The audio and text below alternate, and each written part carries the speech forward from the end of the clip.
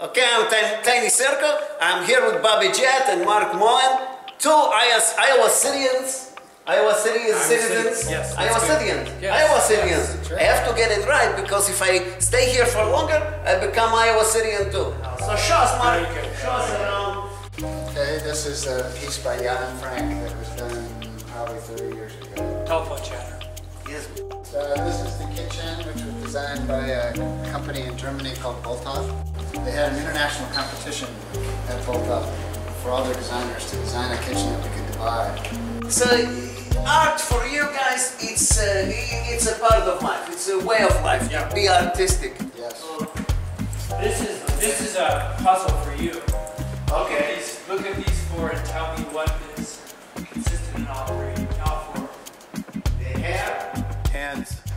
Called Men in the City. So they're all men. Uh huh. Look at the hands. Oh, look at that. So, See, he, he yeah. got it. Yep. Still got this. Oh, can you tell me a little bit about this? Yeah, this this, is, this is a piece that we actually just acquired. It's from John Matos, who paints under the name of Crash in New York. Yes. And From the Bronx. from the Bronx. From That's perfect.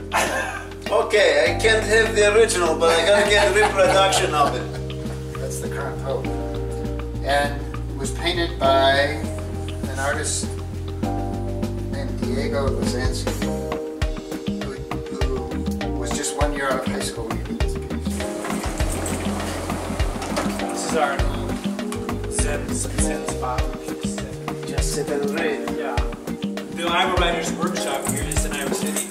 Oh yes. So all whenever anyone publishes a book, they come through here and do a book signing at Prairie Lights. So we've got an amazing library of first editions. That's how I feel. Guys, thank you very much. Yeah. I'm Tiny Sirko. I'm here with Marc Moen and Bobby Jett, and we thank them so much from the bottom of my heart.